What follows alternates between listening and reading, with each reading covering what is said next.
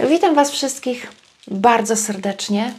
Dzisiaj Wielki Piątek, ścisły post, dzień bardzo wyjątkowy, dzień, który tak naprawdę jest ogromną częścią tych świąt, do których się przygotowujemy.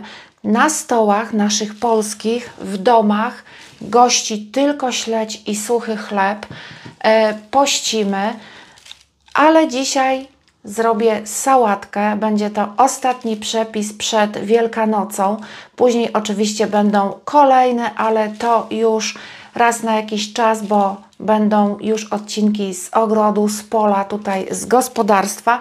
No i dzisiaj jeszcze pokażę Wam y, sałatkę. Sałatkę bardzo smaczną, prostą w wykonaniu. Nie trzeba zbyt wiele wysiłku włożyć, żeby tą sałatkę przygotować. Kiedyś gdzieś ją jadłam, trochę udoskonaliłam pod swój smak, to odrzuciłam, to dodałam i wyszła naprawdę bardzo fajna sałatka.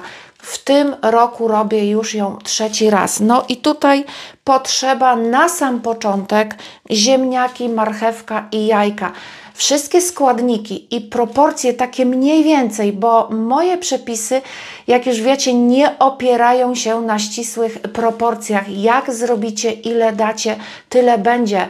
Tutaj miarą jest oko, garść i nasze uznanie. Nie trzymamy się ściśle wagi. Marchewka, ziemniaki, jajka to trzeba ugotować. Warzywa można obrać i je ugotować. Można też y, obgotować je y, w skórkach, marchewkę i ziemniaki.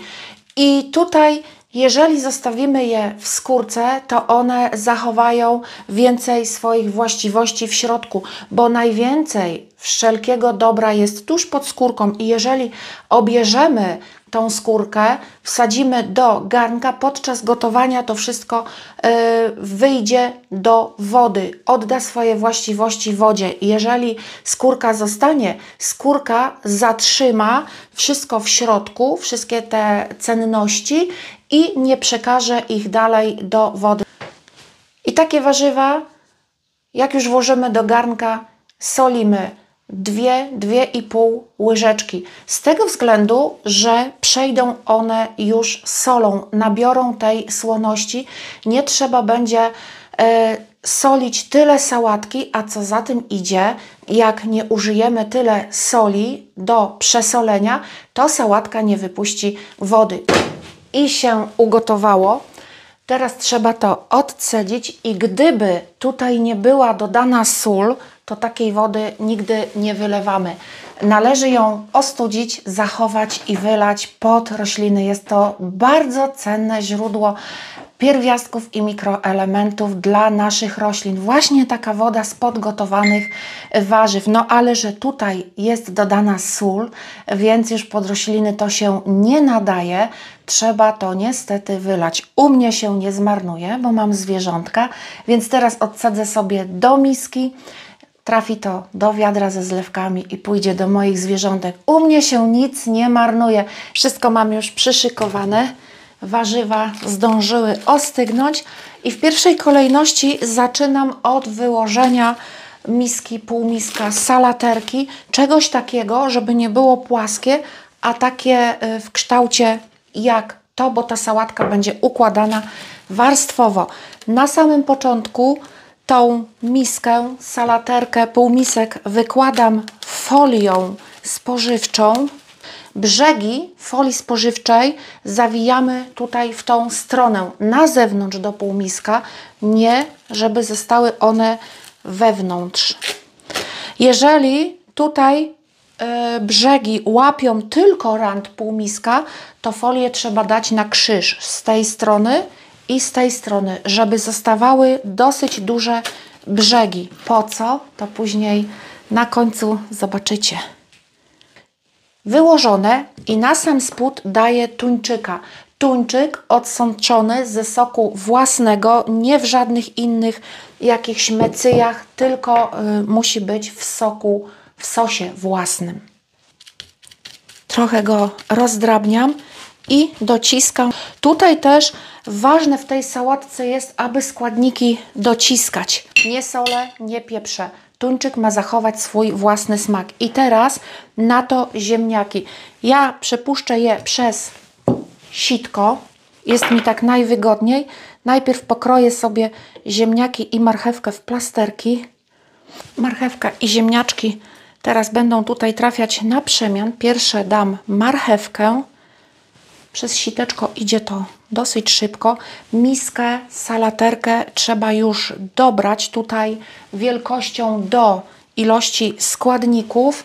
Ja też w opisie podam e, tyle tych składników, ile ja osobiście używam, a Wy oczywiście możecie umniejszyć coś, ewentualnie dodać, zwiększyć. Tutaj już kreatywność zależy od Was i to, co często no, powtarzam, nie ma co się bać kuchni, nie ma co się bać tych przepisów, że coś nie wyjdzie, nie latać z wagą, nie latać ściśle z gramaturą, bo to nie na tym to polega. Dacie 5 deko więcej tego, 5 deko mniej czegoś i tak będzie. I na marchewkę dodaję musztardę francuską. Ona tutaj podkreśli smak, nie daje soli, nie daje pieprzu, przynajmniej jeszcze. Łyżka majonezu. Na to ziemniaki. Ziemniaki również dociskam. I na to znowu troszeczkę majonezu. Majonez tutaj pełni funkcję produktu, który skleja ze sobą warstwy sałatki. Nie dajemy go też dużo, bo tutaj nie chodzi o to, aby ta sałatka ociekała tym majonezem. Ona ma być nim podkreślona, podkręcona. Teraz tutaj na majonez dam mozzarellę pokrojoną na drobniutko w taką delikatną e, kosteczkę można dać plasterkach, ale później przy nabieraniu sałatki te plasterki będą się ciągły, będzie się ona bardzo ciężko nakładała, będzie się e, za duży kawałek nabierał, będzie wychodziła ta mozzarella w plasterku, a to ma ładnie wychodzić kawałkami. I tutaj na ten majonez daję teraz tą mozzarellę.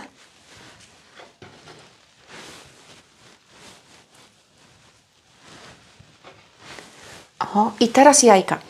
Jajka przekrawam na pół, wyciągnę z nich żółtka i tutaj na mozzarellę dam same białka, również pokrojone w kostkę. Kroję białka. Kolejność warstw w sałatce jest dowolna.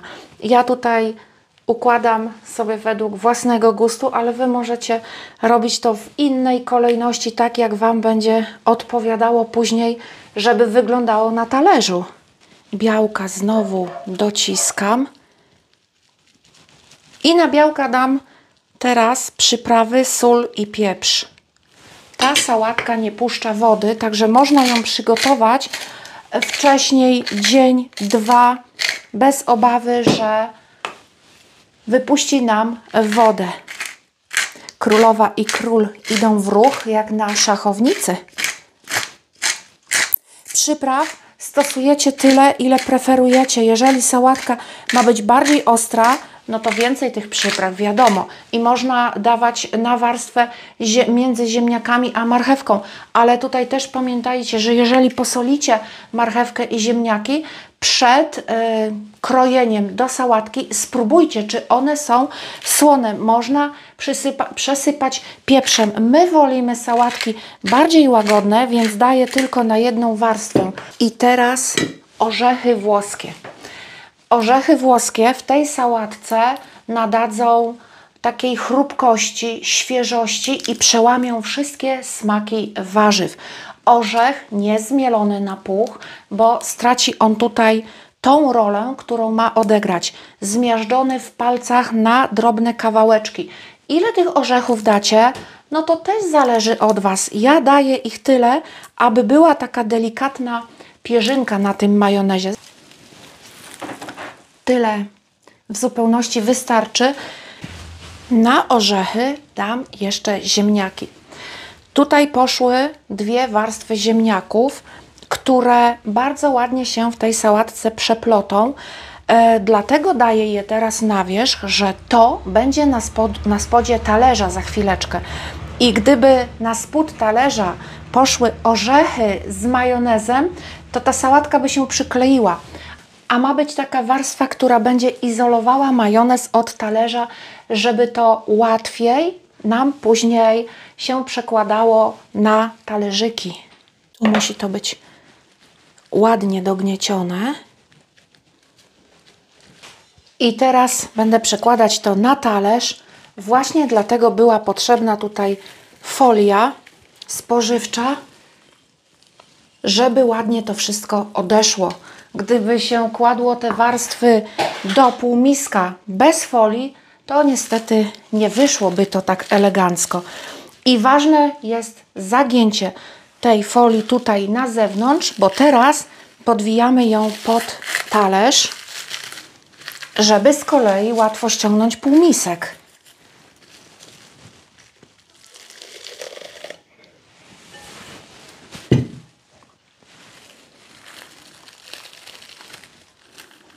Ściągamy folię i wszystkie warstwy bardzo ładnie się zachowały. Jeżeli macie salaterki, półmiski kwadratowe, prostokątne, to będzie te warstwy jeszcze ładniej y, widać, bo będą one proste. Zachowywały ładny kształt figury geometrycznej. U mnie jest takie jak kopiec kreta. No i teraz całą sałatkę smaruję majonezem. Majonez robiony hurtem na wszystkie potrzeby świąteczne własnej roboty. I na wierzch teraz tutaj skroję żółtka. O, właśnie przyszedł ten, co lubi sałatki. Co tak mało? Co tak mało? Właściwe pytanie męża. Co tak mało? U nas święta mięsa może nie być, nic może nie być, ale sałatki to dosłownie baniak. Żółtka na wierzchu też dociskam. I ogórek. Ogórek idzie na sam koniec, bo gdybym dała go do środka, puściłby wodę i wtedy takiej sałatki nie można by było przygotować wcześniej. A tak można. Można go obrać ze skórki, e, można go robić, da, dawać, robić, dawać ze skórką, ale musi być bardzo dobrze umyty. Miejmy nadzieję, to tylko, że tak, bo do filmu tyle zrobiłem. Nie wiem, czy słyszycie. Mąż stwierdził, że ma nadzieję, że to jest wolny żart, ta sałatka. Że ma nadzieję, że to tylko do filmu tyle zrobiłam. A poza wizją będzie pytanie, a gdzie jest reszta? Bo to jest tylko na śniadanie. I to dla dwóch, pod warunkiem, że jeden nie zje. I pomidorki. Pomidorki małe, koktajlowe. Przekrawam je na pół, ale daję odwrotną stroną. W tą stronę, żeby nie dotykały tutaj e, miąższem do majonezu. Oczywiście, jeżeli będzie ona robiona już w sobotę, czy y, wystrajana w święta, no to można e, takie pomidorki dać tą warstwą miąższu do majonezu. A teraz ona by nadmiernie tylko wypuściła, on, pomidor, wypuściłby nadmiernie tutaj wodę. I na wierzch jeszcze trochę orzechów. Tutaj ważne, aby jeżeli będziecie przygotowywać tą sałatkę wcześniej, bo to nie tylko na święta, ona bardzo fajnie pasuje na komunię, na różnego rodzaju imprezy, to tak, aby ten majonez nie był na wierzchu, żeby był czymś przykryty, tak jak tutaj żółtkami, wykończeniem y, typu ogórek, pomidor, z tego względu, że majonez bardzo szybko obsycha. Babcia może próbować, tak? Co, co, co, co? No mogę próbować. Nie, jeszcze nie. Ty już babeczki próbowałaś. No właśnie. Sio. Tak, jak babeczki. Nie wolno było babki, ale babę, no to teraz to mogę próbować. Nic nie będziesz próbować. Tak to pięknie Dzisiaj wygląda. jest piątek, to moje wszystkie potrawy są bezpieczne i powiem Wam tak e, szczerze, że przed Wielkanocą wszelkiego rodzaju mięsa, e, sałatki robię dopiero zaczynam od piątku, bo u nas nie je się mięsa dopiero aż po rezulekcji, niepoświęconym pokarmie dopiero po rezulekcji. I jak zacznę robić w piątek, to są najbezpieczniejsze na świecie. Mogą stać nawet tutaj w kuchni na stole, nikt ich nie tknie. Ale chciałam zauważyć, że ja już mogę. Tak. Nasz już dziadków post nie obowiązuje. Obowiązuje, dopóki żyć będziesz. Obowiązuje Ciebie post. Nie ma i wiem, że tutaj to jest nietykalne, bezpieczne. No i sałatka gotowa, bezpieczna, nikt ją nie ruszy. Można ją zrobić tak jak mówiłam wcześniej, dzień, dwa, bo ona tutaj wody nie wypuści, tylko ważne jest zachowanie właśnie warstw, żeby one nie były tak przekładane, e, takimi, które puszczą wodę. Dlatego tutaj istotne jest, żeby ogórek był tylko na zewnątrz. Pomidor też na zewnątrz. Można by go było dać w środek, no ale tylko pod warunkiem, że będzie ona przygotowywana tuż przed podaniem tych 2-3 godziny, bo pomidor, ogórek bardzo szybko puszczają wodę i tutaj trzeba właśnie na to zwracać uwagę w przygotowywaniu tej sałatki. Ostatni przepis przedświąteczny. Kolejne będą systematycznie gdzieś tam się pojawiały co jakiś czas. Coś Wam jeszcze tam pokażę, ciekawe przepisy na komunię, a teraz na Wielkanoc. E, to już jest ostatni, jutro już jest Wielka Sobota, e, pojutrze już zmartwychwstanie Pana i życzę Wam takiego spokoju, radości, e, przebywania w gronie rodziną, celebrowania tych świąt nie tylko przy stole i nie patrzenia na potrawy, bo dzisiaj wczoraj i jutro będziemy dwoić się, troić, sprzątać domy, szykować potrawy, stoły będą się uginały od tych wszystkich dobroci. Będziemy się prześcigiwać, kto wykona lepszą potrawę, kto postawi na tym stole więcej, niejednokrotnie biorąc na to kredyty, pożyczki, zastawiając się, aby pokazać się, bo przyjedzie rodzina, żebyśmy nie wypadli gorzej, żeby nie było skromniejszej potrawy. Mięcha musi być do oporu. Nieważne, czy to się po świętach zepsuje, wyrzucimy do kosza, ale musi być. Nie tędy droga. Ważne jest wysprzątać tutaj, ugotować środek dla drugiego człowieka, przygotować miejsce przy tym stole, żeby usiadły osoby, żeby spojrzeć sobie w oczy, porozmawiać spokojnie, odrzucając wszystkie takie bolesne tematy, umieć cieszyć się tym, co jest. Najważniejsze, aby na tych stołach w te święta i w żadne inne nie brakło chleba.